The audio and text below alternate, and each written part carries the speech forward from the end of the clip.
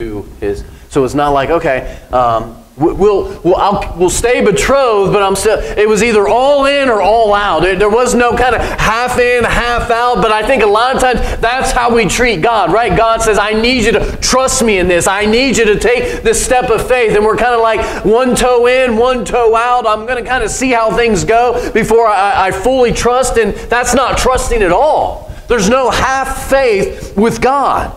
It's, it's all in or it's nothing. And he, and he takes Mary into his house as his wife. What kind of, what kind of trust did that take? Every time they went out in public, she was visibly pregnant. People start doing the math. Only been married a week. What's going on here? The whispering. How much do you think they were treated as outcasts in, in their own hometown? But yet, he responded in the only way that would be found to be pleasing to God in faith. It says in Hebrews chapter 11, verse 6.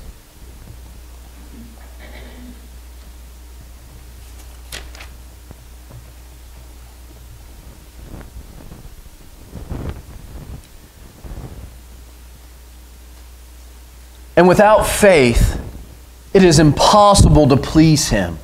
For he who comes to God must believe that He is, and that He is a rewarder of those who seek Him. I, I, I love that because it almost sounds like it's an incomplete thought here. Like the writer of Hebrews says, you know what? Without faith, it is imp- impossible to please Him. For he who comes to God must believe that He is. And then he moves on to a next thought kind of ask ourselves, must believe that he is what? That he is who? That he what what am I believing that he is?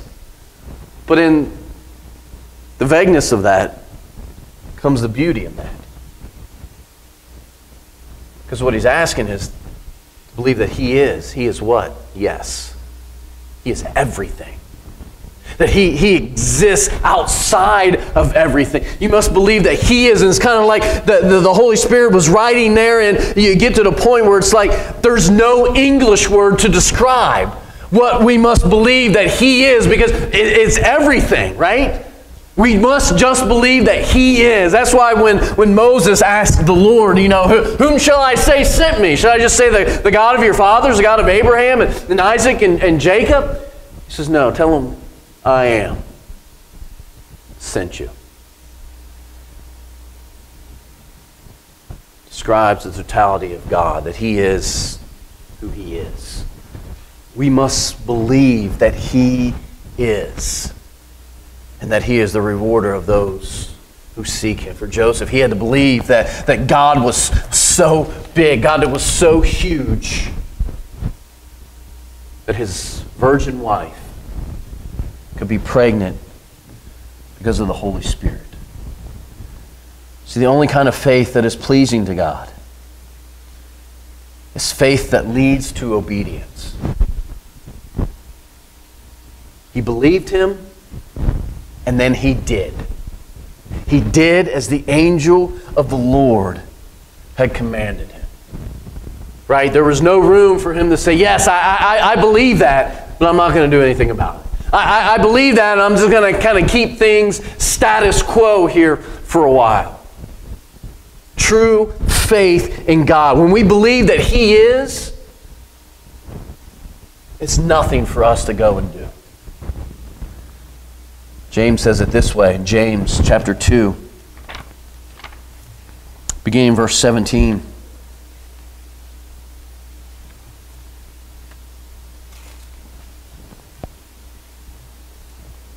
Even so, faith, if it has no works, is dead, being by itself.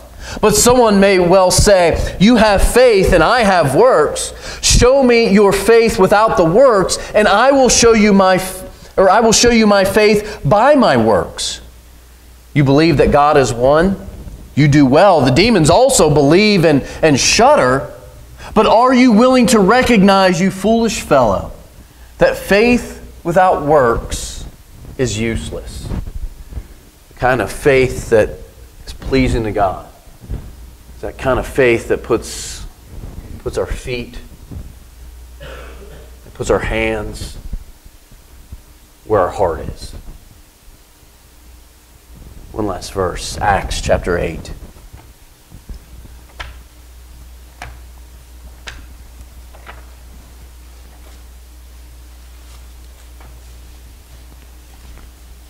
Beginning verse 36.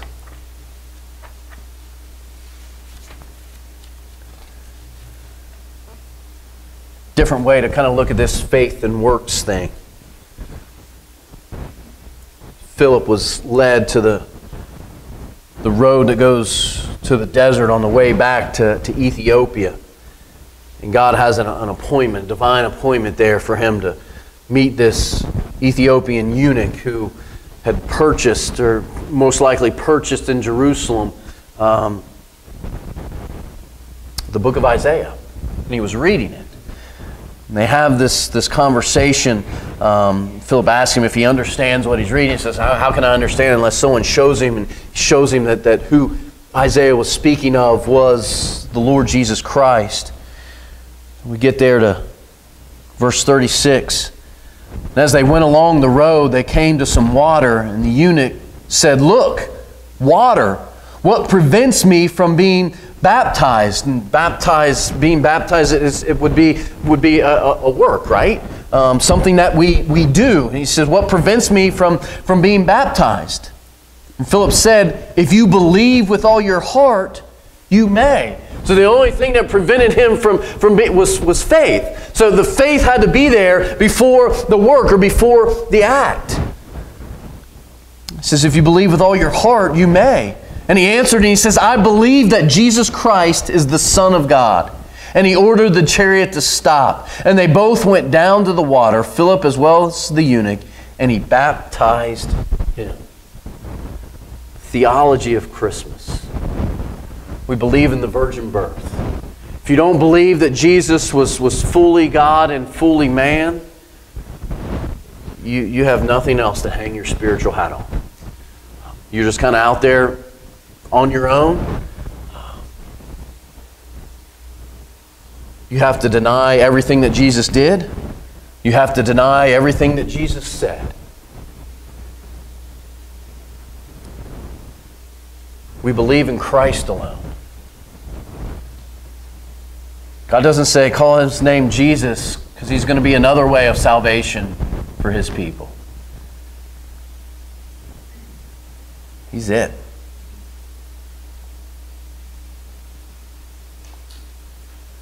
We believe in faith and obedience.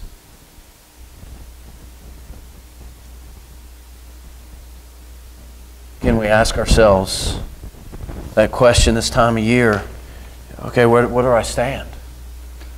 Where, where am I at? You can believe in the existence of Jesus. And that's no, that's no great thing. Every time you write the date, you are confirming the existence of, of Jesus. James said the demons even believe and they shudder. They, they, they have a, an external fear of Christ.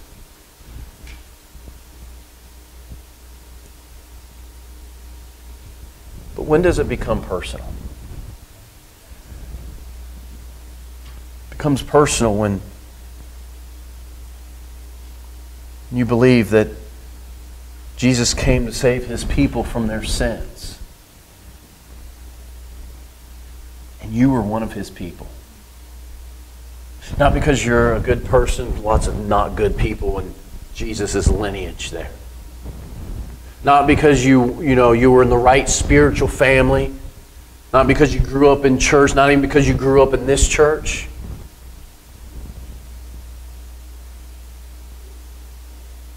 But because you know that, that Jesus loves you. And he willingly came to not just be born, but to die. that goes all the way back to what God told Adam and Eve. He says, the moment, and the instance that you take of the fruit of the tree of the knowledge of good and evil, you will die. It was the only sin they could have committed, and they did. And the price, the penalty, was death. That's what we all deserve the moment that we sin. The only reason that God doesn't take us out of, you know, out of here the moment that we commit our first sin is because of Jesus. He loves you that much. So, do you know this morning Jesus came to save you from your sins? You would say, Aarron, I'm not a bad person. Didn't say came to save bad people from their sins. We looked at last week. God says all have sinned and fall short of the glory of God. If you've ever done anything, said anything, thought anything that had an aim other than ultimately bringing 100% of glory to God, then you've sinned. So we all need salvation from our sins. I pray this morning if if you've never made that commitment, you say, well, you know, I've I've done this or I've done that or but I just don't know. Well, the God gives us the measurement of that. True saving faith will always be followed by obedience. God begins to change the way we think, the way we respond. We begin trusting God with things that we thought were impossible before. Because we are a new creature, a new creation in Christ Jesus. So I hope this morning, more than just theology lesson through the birth story of Christ,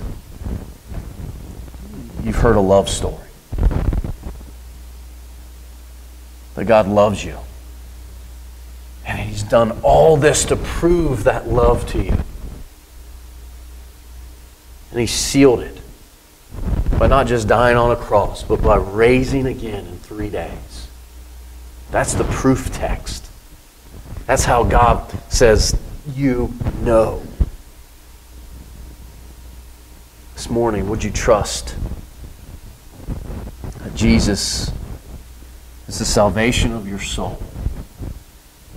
The only way to have our sins washed and forgiven. Maybe we're here this morning and we just, man, we needed that reminder. It's in Christ alone. Christ alone that we are saved. Christ alone that we come to the presence of God. For us who are, are Christians, that, that is just a, a, a call to worship.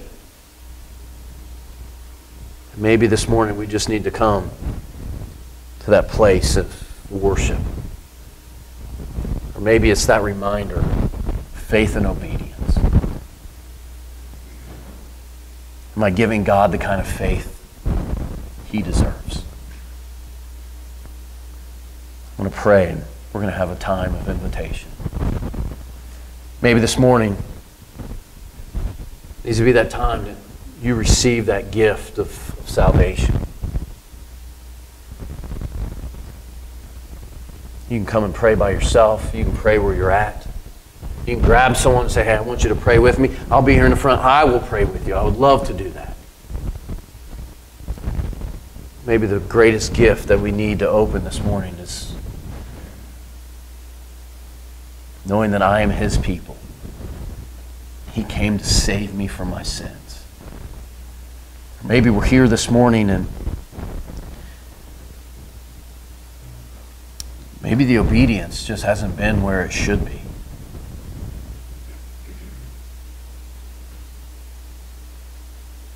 Maybe this morning we need to ask ourselves the question of the Ethiopian eunuch What prevents me from being baptized? What prevents me from going and sharing my faith? What, what prevents me from doing evangelism? What, what, what prevents me from. God says it's your faith.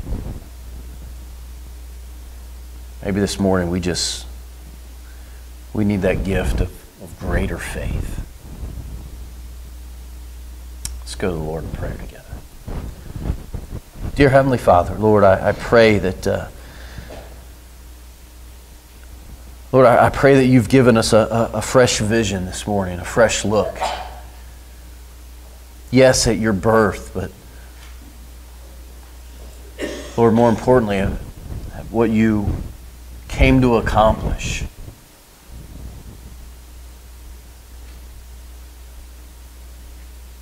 Lord, you came to, to, declare, to declare those who were unrighteous as righteous. You came to declare those who were unjust as just. Lord, you came to declare those who are sinners as saints. Lord, I, I pray that wherever we are at this morning in our faith journey, Lord, you would give us the confidence, the boldness, the courage to take that next step because there's always a next step. Lord, I pray that you would use this invitation, Lord, to convict us and conform us